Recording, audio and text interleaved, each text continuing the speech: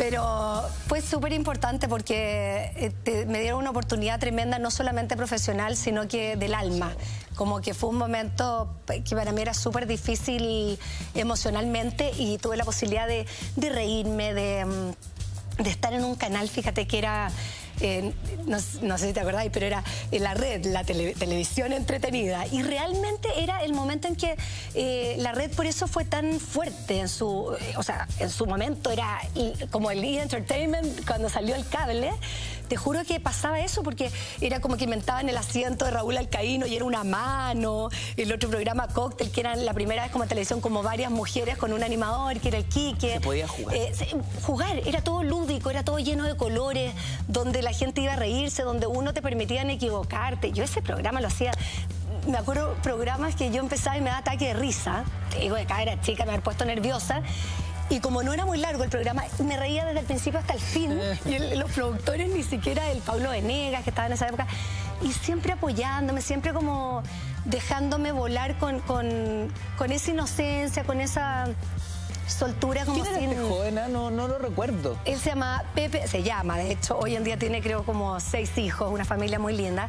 Se llama Pepe Prieto. Pepe Prieto. Sí, y después se dedicó al, tema empresarial, trabajó como... Dejó la tele, digamos. Ha estado trabajando. Sí, este creo que, tengo entendido que este fue el programa que hizo, después siguió lo que él estaba. Él era empresario, trabajaba en autobahn, marcas como así, relacionadas con auto pero, pero lo pasábamos. Te juro que cada idiotez que hacíamos, porque no tiene otro término, y la gente iba al, canal caminando, disfrazado. Todos los días inventábamos algo, llega disfrazado de algo, llega Oscar esto, llega con tu familia. Era muy chica. ¿Qué edad tenía ahí? Sí, cumplí 17. ¿17? Te pasaste. ¿Cómo, llegaste, ¿Cómo llegaste a la tele? Te lo pregunto porque sé que no solo la tele, sino que antes el modelaje, producto del más total azar. Sí, la verdad es que yo nunca en mi vida pensé en ni la televisión y menos el modelaje. No era algo que me atrajera en lo absoluto. Yo siempre supe que iba a ser profesora.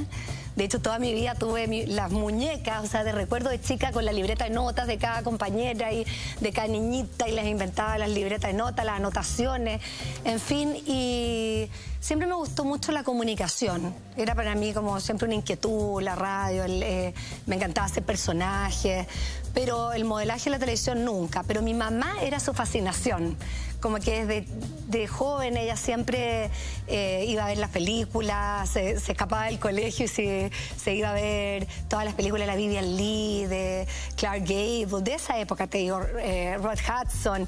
De hecho, se escribía cartas con los actores a mano, los actores le contestaban. Una locura. Entonces, para ella como que...